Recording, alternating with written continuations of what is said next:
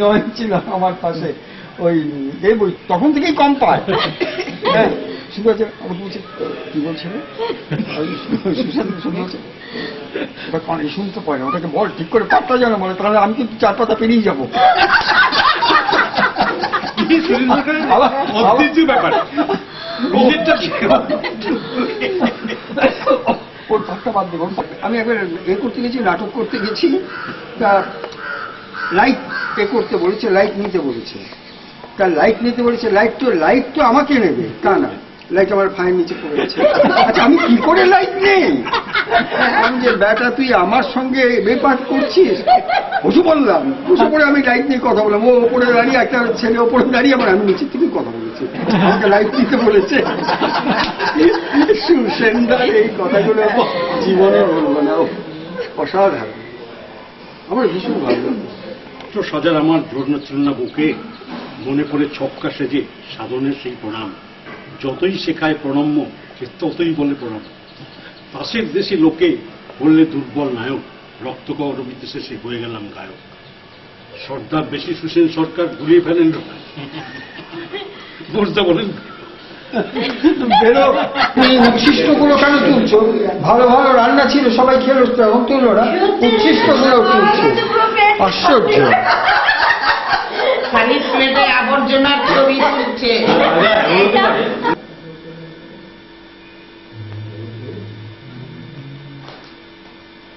জামশেদপুরে উনিশশো পঁয়ষট্টি সালে প্রথম শুরু হয়।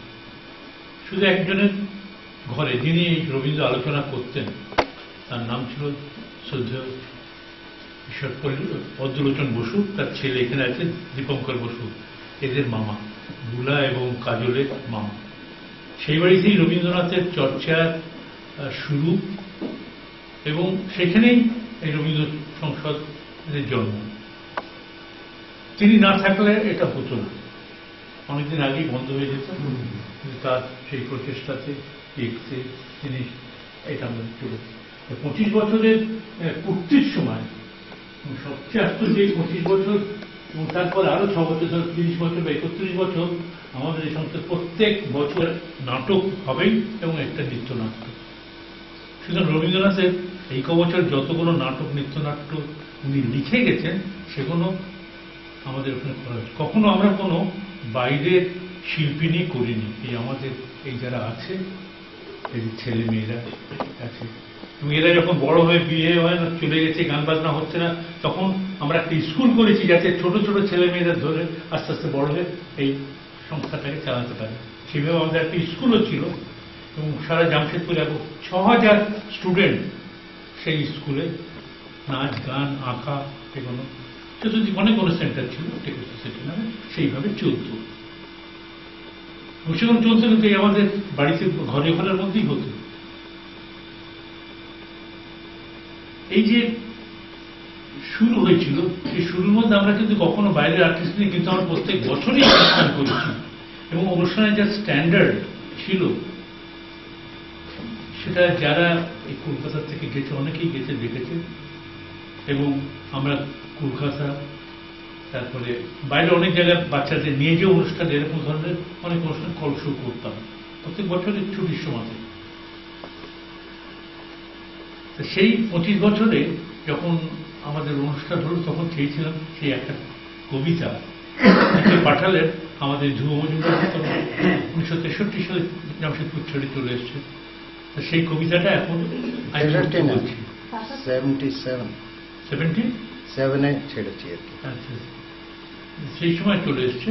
এখন সেই কবিতাটা বিশেষ করে পড়তে বলব যেটাতে মানে রবীন্দ্র সংস্কৃতির সারা কর্মকাণ্ড ওই একটা কবিতার মধ্যে লিখেছে। যেটা বারে বারেই পড়া যায় আর যতবারই পড়া যায় মানে যারা এর সাথে জড়িত ছিল না, প্রত্যেকে কিন্তু অনেক মনটা নেমে যাবে। অনেক একটা মনে হবে অনেক পুরনো স্মৃতিটাকে, স্মৃতি শুধু বেদনা এই যে কথাটা আছে, সেটা তখন মনে হতে থাকে। ছেলেবেলায় স্কুলের চেয়ে লাগতো ভালো ছুটি। আজ আমাদের ছুটি ও ভাই, আজ আমাদের ছুটি। সেই থেকেই জেনেছিলেন বিশ্বকবির নাম, জেনেছিলেন নোবেল জয়ীর কাব্যের সুনাম। সৌম্য দর্শন, পক্ষকেশ, লম্বা লম্বা দাড়ি, ধনুক, বক্র, নাসিকা তার নয়ন মনোহারী।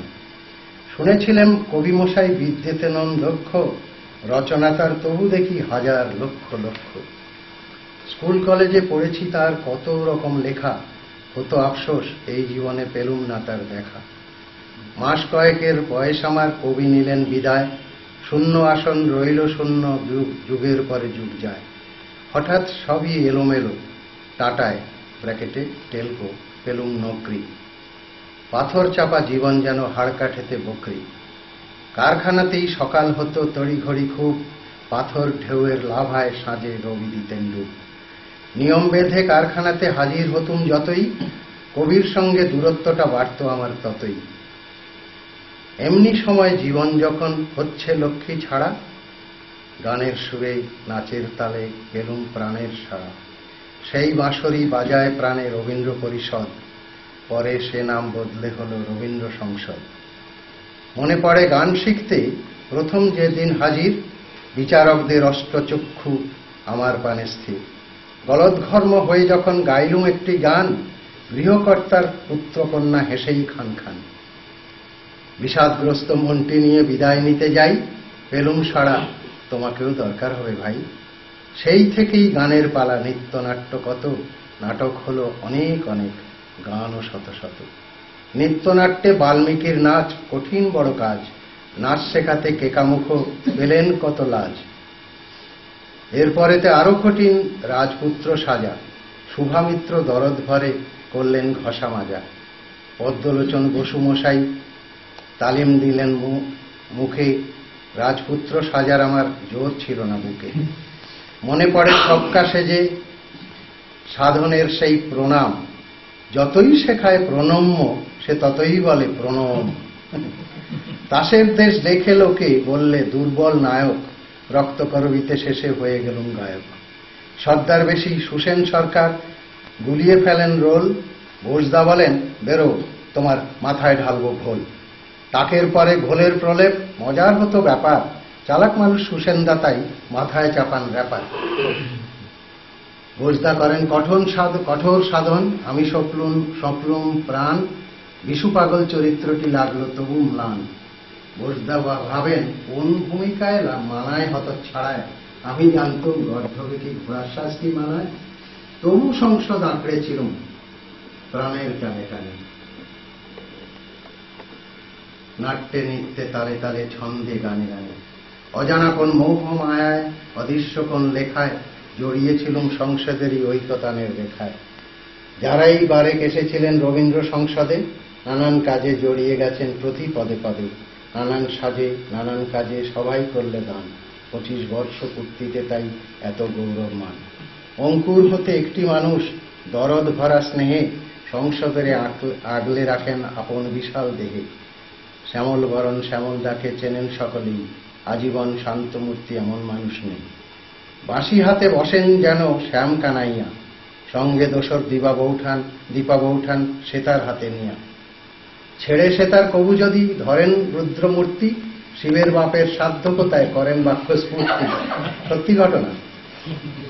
বংশী হাত বাদক তারই মাঝে বাজান আপন সুর, রুদ্রমূর্তি সেতায় কাবু হৃদয় অন্তপুর দোহায় তখন রচেন শিল্প, গুণীরা স্বাদ পান, সংসদের এই জীবনধারায় সবাই করেন স্নান। ছিলেন দাদা নিতিন, প্রবীর, মোস্তাফি ও কানু, দিলীপ দীপক, রুদ্র, রঞ্জু, প্রদীপ নাটকেতে ঝানু। অনুশ্রী দাক্ষা, মিলু, তপতি, গোপা, মানা নাচ করেছেন গানে মিতা, চৈতালি, আলপনা। মাস্টারমশাই, বাবুমশাই, অজিত বটুক ঘনশ্যাম শিক্ষা দিয়ে বাড়িয়ে গেছেন সংসদের সুনাম। কট্টর সমালোচক ডাক্তার দেবল দাশগুপ্ত দুর্বলতা ধরিয়ে দিতে ধরিয়ে দিতে সদাই জাগ্রত। পূরবীয় বিষ্ণুমুখ বৈদ্যনাথ সরকার সংসদ সমালোচনায় ছিল, এদেরই দরকার। ত্রুটি- ত্রুটিটুকু ধরিয়ে দেবেন। বন্ধু সেজে মহান শিল্প চারুকলার কাজে বাড়ে উচ্চমান। এদের সবার ত্যাগ ও বীর্যে সংসদের সংসার, সবার হোতা রবীন্দ্রনাথ, তোমায় নমস্কার। আরেকটি দিক সংসদেতে ওজন বড় ভারী। গোপাল হরি বন্দ্যোপাধ্যায়, তাহারই কাণ্ডারি। পাঠচক্র সেই শাখাটি কর্তব্যে অম্লান কাব্য সরস্বতীর হেথায় চিরপীঠস্থান। শিশু বিভাগ সংসদেরই আরেকখানি অঙ্গ। শত শত শিশু কিশোর পেয়েছে তার সঙ্গ। নানান রঙ্গে, নানান ভঙ্গে শিল্প চেতনায়, সংসদ বিলায়, স্নিগ্ধ সুধা জগৎ সভায়। যাহার গানে যাহার নাচে যাহার নাট্য গীতে সংসদ আজি তরুণ, তিনি নেই তো ধরণীতে। আমরা সবাই বাজাই ভেরি, বাজাই তাঁরই শঙ্খ। তাঁরই আলোয় নয়ন মেলি তাঁরই জয়ডঙ্ক টাটানগর খনির মাঝে রবির মসনদ মহামহি রূপ সে যে রবীন্দ্র সংসদ। যাদের কথা এই রচনায় স্থান পায়নি মোটে তাদের তরেও প্রীতি প্রণাম সবার সমান ধারায় ছোটে। সবার কথা লিখতে আমার কাব্য না পায় ছন্দ সবার আশিস নিয়ে মাথায় লেখা করলুম বন্ধ। আর সেই সঙ্গে আমার একটা কেমন জানি আমার একটা বদ্ধ বা স্বভাব আছে যে কোনো কিছু দেখলে সেটাকে খুলে খালে আগে সেটাকে কীভাবে আমার নিজের মতন করে ব্যবহার করার মতন করে করে নেওয়া যায়। এইটা আমার বরাবর ছিল মাথায়। তো সে তারপরে যাই হোক অনেক কিছু করলাম সংসদের অনেক কাজ যখন শ্যামলকারে চলে এলেন বা আরও কাজগুলো বন্ধ হয়ে গেল। কিন্তু ওইটা আমার মাথায় ছিল যে আমার ঠিক ওই যা যে যা চলছে ঠিক সেইটাকে সেইভাবেই নিয়ে যাওয়া এটা আমার পোষাতো না একটু অন্যভাবে করে দেখি না কেমন হয়। এটা আমি নিজে গানের ক্ষেত্রেও করেছি। যাবোই আমি যাব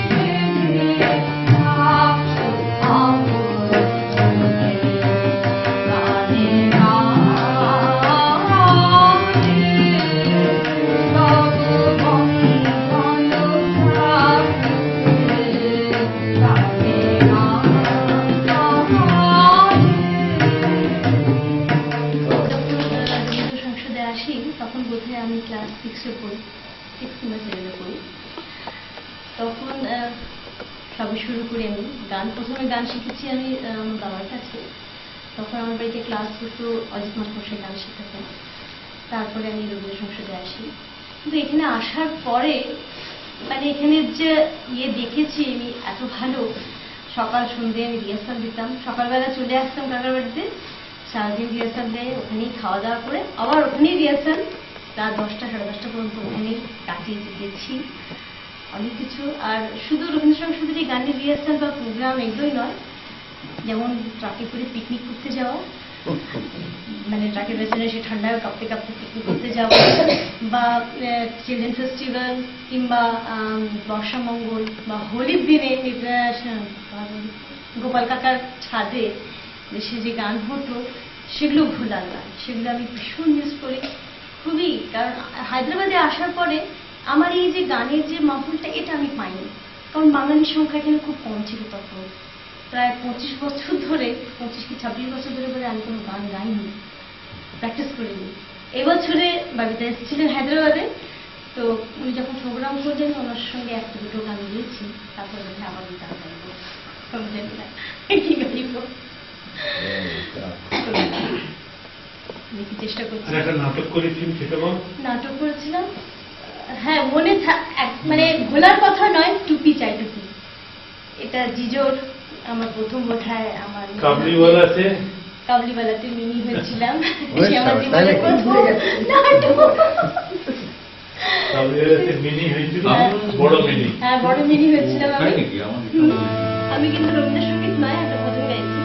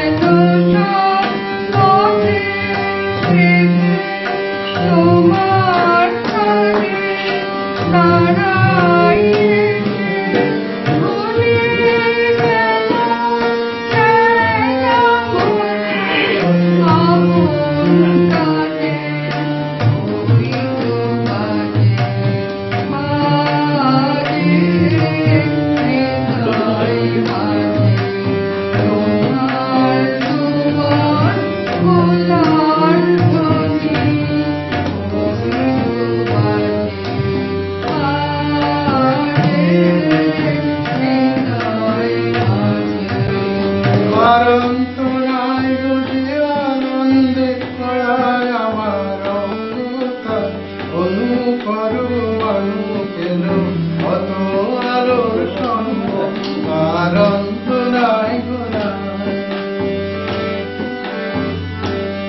চারি মোহন মন্ত্র দিয়ে গেছে কত ফুলের গন্ধ দোলা দিয়ে ঝুলিয়ে গেছে ছন্দ তার অন্ত নাই গো নাই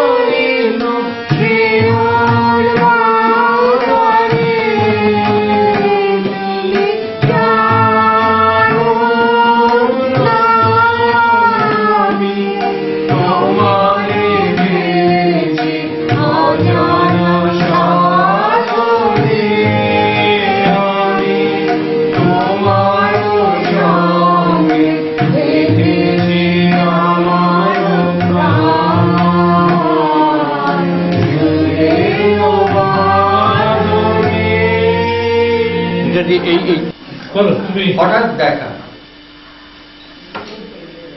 রেলগাড়ির কামরায় হঠাৎ দেখা। ভাবিনি সম্ভব হবে করে দিন আগেও তো বারবার দেখেছি লাল রঙের শাড়িতে দারুণ ফুলের মতো রাঙা। আজ পড়েছে কালো রেশমের কাপড়। আঁচল তুলেছে মাথায়। দোলন চাপার মতো চিকন গোল মুখখানিটা মনে হল কালো রঙে একটা গভীর দূরত্ব ঘুরিয়ে নিয়েছে নিজের চারদিকে। যে দূরত্ব সর্ষে ক্ষেতের শেষ সীমানায় শালবনের নীলাঞ্জন। থমকে গেল আমার সমস্ত মনটা। চেনা লোককে দেখলেন অচেনার গাম্ভীর্যে হঠাৎ খবরের কাগজ ফেলে দিয়ে আমাকে করলেন নমস্কার। সমাজবিধির পথ গেল খুলে আলাপ করলেন শুরু। কেমন আছো? কেমন চলছে তোমার সংসার? ইত্যাদি। সে রইল জানলার বাইরের দিকে চেয়ে। যেন কাছের দিনের ছোঁয়াচ পার হওয়া চাহনিতে দিলে। অত্যন্ত ছোট দুটো একটা জবাব, কোনোটা দিলেই বুঝিয়ে দিলে হাতের অস্থিরতায় কেন এসব কথা এর অনেক ভালো চুপ করে থাকা। আমি ছিলাম অন্য বেঞ্চিতে ওর সাথীদের সঙ্গে। একসময় আঙুল নেড়ে জানালে কাছে আসতে। মনে হলো কম সাহস নয়। বসলুম ওর এক বেঞ্চিতে। গাড়ির আওয়াজের আড়ালে বললে মৃদু স্বরে কিছু মনে করো না। সময় কোথা সময় নষ্ট করবার আমাকে নামতে হবে পরের স্টেশনে। দূরে যাবে তুমি। দেখা হবে না আর কোনো দিন তাই যে প্রশ্নটার জবাব এতকাল থেমে আছে, শুনব তোমার মুখে। সত্যি করে বলবে তো? আমি বললে বলব। বাইরের আকাশের দিয়ে আকাশের দিকে তাকিয়ে শুধু আমাদের গেছে যে দিন, একেবারেই কি গেছে? কিছুই কি নেই বাকি?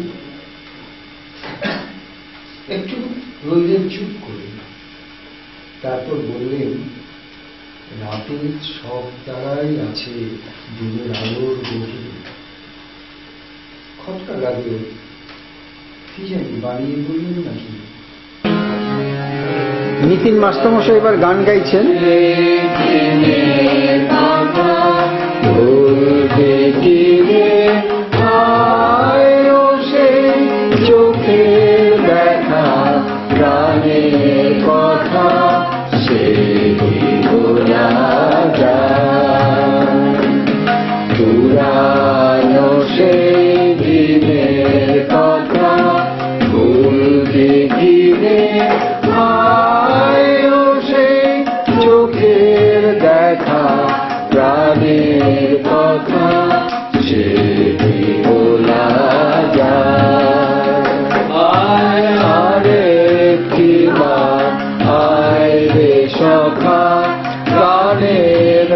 মাঝে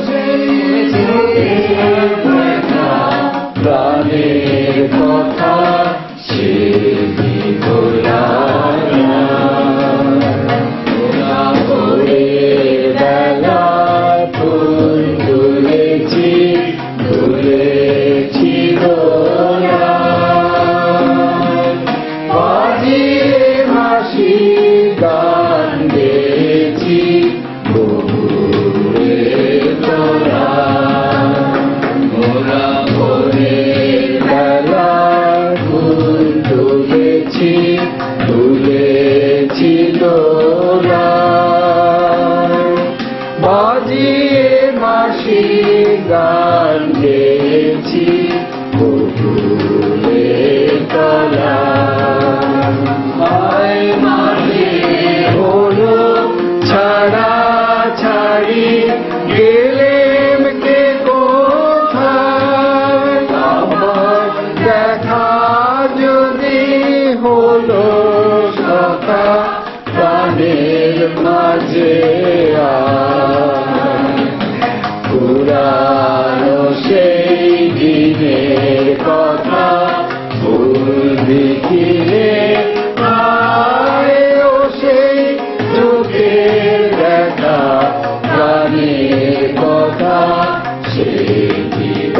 Sudah.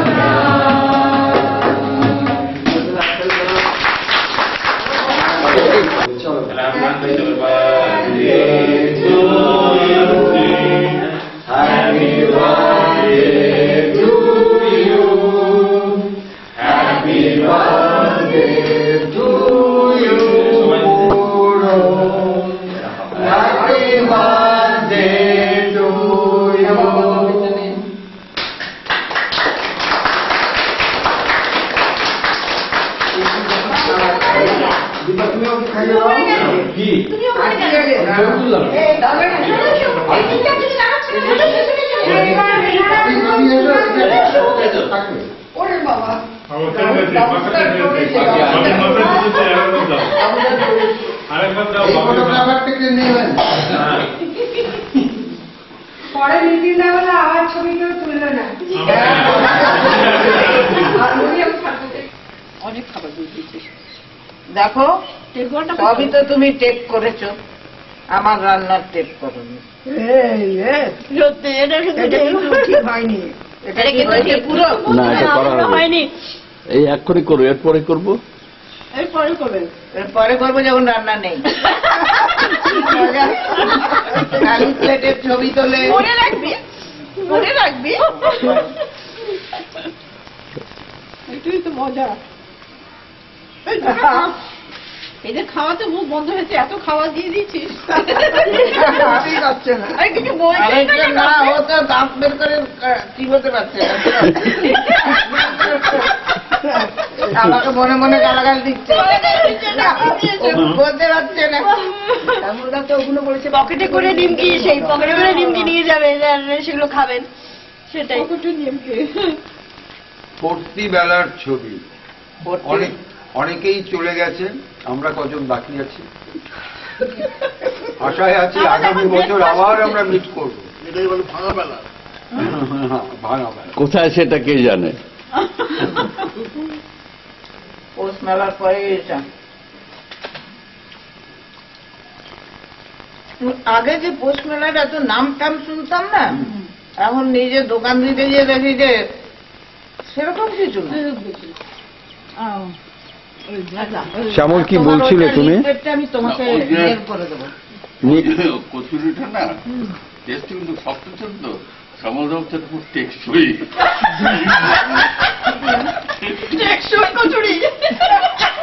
নিতিন নিতিন আমাদের সব ফটো তোলাতে ওর খুব গ্রিভেন্স জানিয়েছে ওর ফটো উঠছে না। তাই তাই আমি এখন ফটো তোলার চেষ্টা করছি। এটা যদি কোনো রকম খারাপ হয় তাহলে কেউ কিছু মনে করবেন না। তবে আমি নিতিনের ছবি তুলছি। নাকি? হ্যাঁ নিতিনের ছবি তুলছি নিতিনের বেস্ট হাফের ছবি তুলছি সবকিছুই ছবি তুলছি আমি। এই যে আমাদের গৃহকর্ত্রী প্রচুর রান্না বান্না করে খাইয়েছেন আমাদের কিন্তু ওর রান্নার ছবি তোলা হয়নি তাও গ্রিভ্যান্স এখানে অনেক কিছু গ্রিভ্যান্স হয়েছে কিন্তু। ফুলগুলোর উপর দিয়ে ঘুরিয়ে দিও। হুম। তোমাদের রিসেপশন দিচ্ছে তারা? আমাদের জামাই উনি আসাতে আমরা দারুণ এনজয় করেছি এবং উনিও খুব এনজয় করেছেন। আমরাই বলে দিচ্ছি।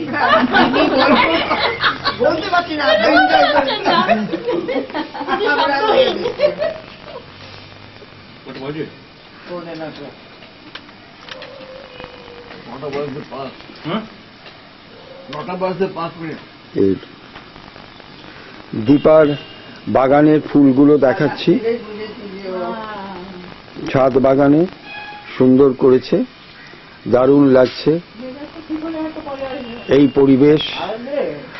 আর যদি কোথাও না কেউ ডাকে আমরা এখানেই বছর বছর মিলব।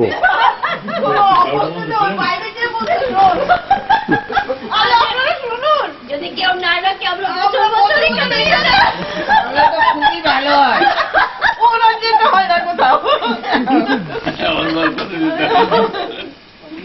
আরে শ্যামল তোমার ফটো তুলছি আর তুমি একটা কথাও বলছো না। তোমাকে নিয়ে আমি কি করব বলো তো? কথা বলার মতো নেই। এখন সবাই চলে যাবে চলে বলছে। আর- কিছু বলতে ইচ্ছে সেই। জন্যই বলেছিলাম আনন্দের পিছনে ভয় আছে। এইটা ভয়। এই যে এটাই আমাদের- যে আমি যে এতদিন পরে যে সে জিনিস নিয়ে যাচ্ছি মানে এত যে আমার মানে এত খুশি এত যে জিনিস আমি যে কি একটা জিনিস নিয়ে যাচ্ছি সম্পদ বলতে গেলে একটা জিনিস নিয়ে যাচ্ছি। বেশি খুশি হো না মোটা হয়ে যাবে। আর কেউ পৌঁছক কি না পৌঁছক আমি পৌঁছে যাব তোর কাছে। এখন একটাই সুবিধে। পুরোকে একবার বললেই হলো। একবার তো সে হলো না সে হায়দ্রাবাদে যাওয়া আমাদের কথা। তখন ছবিটাকে আবিষ্কার করা হয়নি কিন্তু। হ্যাঁ। তখন আমরা হায়দ্রাবাদে যাব সমস্ত সেই ক্যান্সেল হয়ে গেল। তখন খোঁজ হলো সুমিতা থাকে ওখানে। কি করে ওর খোঁজ পাওয়া যায়? মনে আছে? তখন বলে সুমিতাকে খোঁজে খুঁজে সুমিতাকে কি করে পাওয়া যায়? পাইনি আমাদের শিল্পের জুবিল হলো না চিলড্রেন ফেস্টিভ্যাল করলাম ইস্টার্ন রিজিয়ান তো উড়িষ্যার থেকে একটা দল এসেছিল। তারা প্রোগ্রাম করল তার সাথে এক ভদ্রলোক ছিলেন ম্যানেজার মানে তিনি নিয়ে এসছেন বাচ্চাগুলোকে ইয়ে করে মিস্টার মুখার্জি বলে। তার ছেলে হায়দ্রাবাদে কাজ করে। তিনি ওখানে গেলেন। তাকে বললাম যে এটা খোঁজ করুন তো এরকম এরকম তোদের তোদের ডেসক্রিপশন দিয়ে যে পুজো প্যান্ডেলে নিশ্চয়ই এসে দেখতে পাবেন। আমি আমি আমি আঙুল ছেড়ে দিয়েছি তাও দেখি রেকর্ডিং লেখা আছে। না না আমার ছেলে তো রেকর্ডিং লেখাই তো। তুমি কি বসেছিল নাকি? হ্যাঁ আমি তো টিপে বসেছিলাম। না কারণ টিপে